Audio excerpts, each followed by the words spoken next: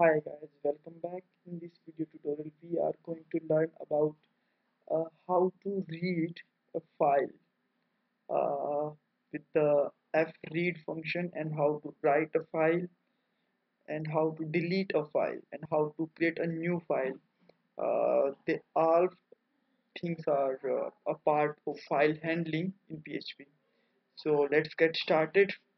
For all these things we need uh, actually two functions one is f open and another is f read so first of all I have a f open function and I have to put your file name. Then I have to store it in a variable.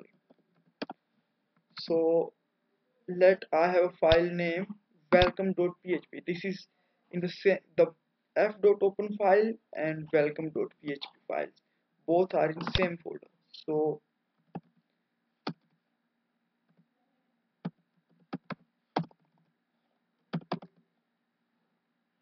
welcome.text and we need one more parameter. This is r.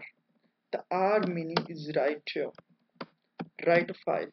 So echo f read and we have to put a file and second parameter for a maximum size of file in bytes. So uh, it can be here 100 bytes of maximum size of a file. Let's check out now. Yes uh, hi friends this is a file handling lesson. Uh, this text is come from here. So this is uh, a way to read a file. So another thing is uh, I can write here a parameter. A is used for write. So we can use two parameter for write here. One is w and, one, and another is a. So when I write a here that means uh, file does not erase your previous content and we can easily add our new content. So let's see here once again there is nothing data will be shown here. This is blank and nothing is going right. So this function uh, a parameter is used when when I use uh, get and post method and fire something uh, some data in this file so that time I can use this parameter. So this is a basic tutorial so I'm not going in too much detail.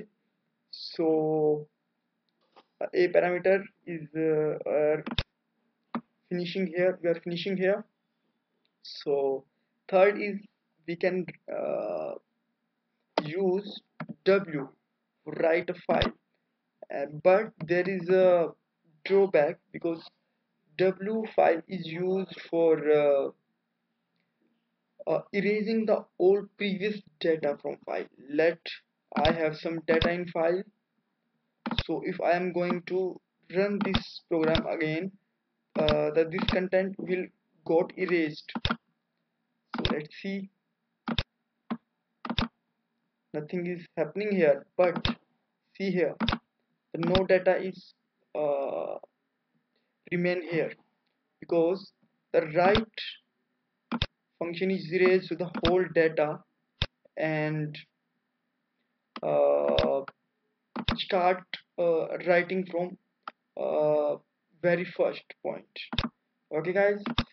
So uh, we can use use uh, w for one more thing. This is uh, create a new file. If we don't have a file then it will create a new file.